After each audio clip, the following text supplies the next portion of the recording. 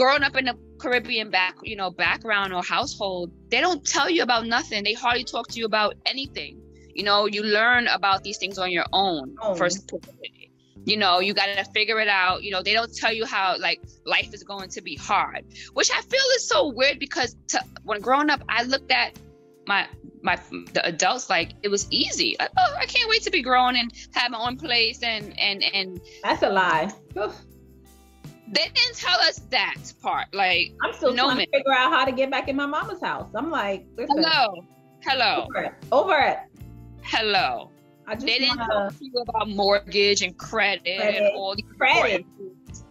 Hello. mess mine up a few times. Um, just saying. We did not get that education at all.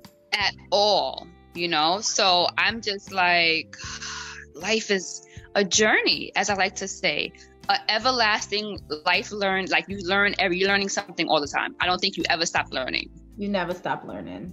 Ever. Life is life. It's hard. It's harsh. It's loving. It's exciting. It's ups and downs, um, continuously. That's just how I look at it. And life is exactly what you make it. That part. That part. You are your destiny. Yes. You determine it. Yep. But you are doing it very well. And Thank so you. what? Harsh. So what? Embrace the harshness of it because it's strengthening you for something to come. Yes. Yes, for sure.